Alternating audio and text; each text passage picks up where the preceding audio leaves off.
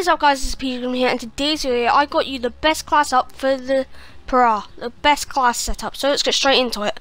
So basically obviously you're going to need the Pharo, so put that on.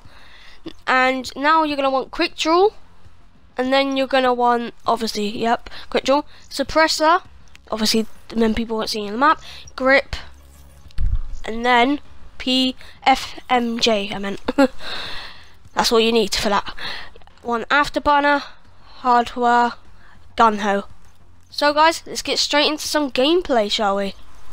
So guys, I am back obviously now, so let's get straight into this gameplay. So basically, this is actually the best to get nuclears, to rank up, and you could probably rank up this game in about 10 games. If you're really sweaty at this game, um, not really, well, kinda a little bit. you have to. You could get it in five games. Usually, people do if they're really good at the game. Obviously, you want a trigger finger to actually make sure you actually kill them better. So go dun dun dun dun, and that'll be so much more easier. So guys, if you did like this video, don't forget to get to like, comment, and subscribe. Let's try and get 10 likes on this video, and I'll catch you in the next one. Peace.